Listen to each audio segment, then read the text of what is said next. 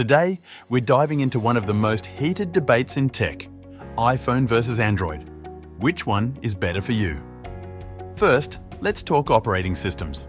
iPhones use iOS known for its sleek, user-friendly interface and regular updates. But Android steps into the ring with its powerful customization options and flexibility. Now, onto hardware. Apple manufactures all iPhones, ensuring consistent quality across the board. But wait, Android has a secret weapon, variety. With phones from Samsung, Google, OnePlus and more, the choices are endless. Apps are the lifeblood of any smartphone. iOS boasts rigorous quality control, offering a polished experience. But Android counters with an open ecosystem, allowing for greater customization. If you love tweaking your device, Android has the edge. Prefer simplicity and reliability? iPhone might be your winner. Integration is key for a seamless tech experience.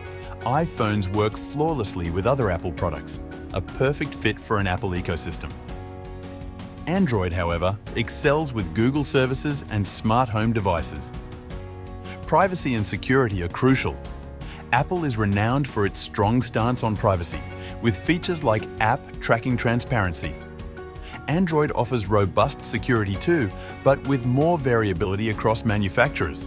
And finally, the moment you've been waiting for, pricing. iPhones often come with a higher price tag, with premium features to match. But Android phones? They range from budget-friendly to high-end, offering something for everyone. So, which one wins? iPhone's consistency and seamless integration or Android's customization and variety? The decision is yours. Let us know in the comments below. Like, subscribe and hit the bell for more tech showdowns.